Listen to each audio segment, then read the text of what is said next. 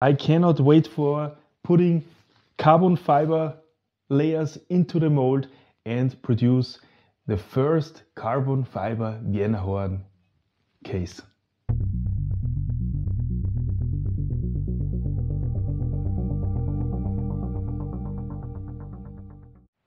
Hello everybody, welcome back on the channel, welcome back on Hurricane TV. My channel Hurricane TV is all about sailing boatworks and carbon fiber lamination. And in this brand new exciting episode, I'm going to show you how to produce a carbon fiber Vienna horn case for my instrument Vienna horn. In the previous episode, I have shown you how to produce the perfect master pattern for the mold making process and in this video we will create a very nice, very smooth and good mold for the Vienna horn case. So let's get started.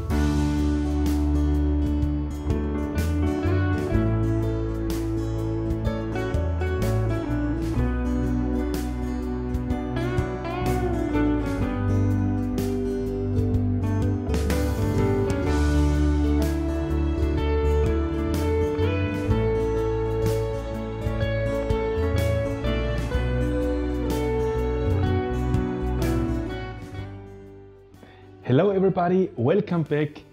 What a beauty! I'm so happy that the mold making process turned out so well and I have to say the molds they are just awesome. They are shiny, they are smooth and I cannot wait for putting carbon fiber layers into the mold and produce the first carbon fiber Vienna horn case. If you're interested to see how this works and how the Vienna horn case turns out, then please subscribe to my channel, ring the bell and see you in the next video. Goodbye.